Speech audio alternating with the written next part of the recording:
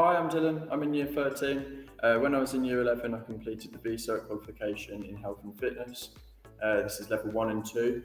Uh, as part of this, uh, it's split into an exam and coursework.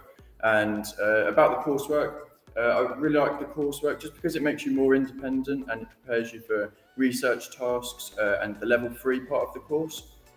And I, I find that this level one and two um, part of the qualification really does lead you into the level three nicely.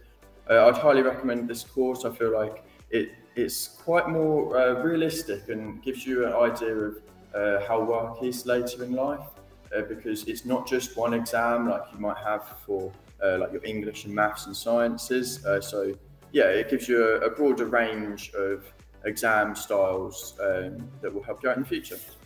My experience with vocational education started in GCSE. I studied childcare and health and social care. I've been doing childcare and health, health and social care from GCSE to A level, and this has made my experience better because I've increased my knowledge in different sectors like my nursing, childcare, and all that. I think that vocational education is important to young people because it would give them the skills that they would need for university. In year nine, I decided to choose design construction engineering because they fed my interest. I always wanted to know what happens in a car, what makes it move, and then also with aircraft, which is what I'm currently pursuing. Um, however, in from the years year 9 to 11, um, it was more of a stepping stone to getting towards into sixth form, so I could then study level 3 engineering in which um, the career I'm pursuing is going into the RAF as an aircraft technician and this will help me get towards that goal. So my experience with vocational education is actually quite unique because when I was younger and I did my GCSEs in sciences, it actually didn't give me what I needed to pursue my dream. My dream would be to study paramedic science and eventually become a paramedic in the NHS and, science, and the science that I took didn't actually give me the proper knowledge or the proper qualified experience to move on to that course. So the vocational course that I took with the health and social care at GCSE, then I also pursued that at A level and childcare at A level.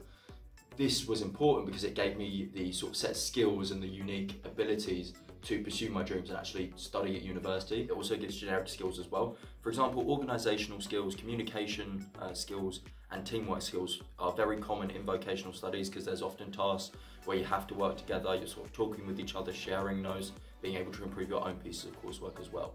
In, in year 11 I studied engineering and cooking as they were my interests and it's, it's a very good thing because it gives other people who don't, who struggle with learning GCSE stuff a chance to prove themselves and prove that they are capable of more and that's given me the opportunity to study cooking and engineering to a further level and help help myself get to the apprenticeship that I want to get, which is in engineering.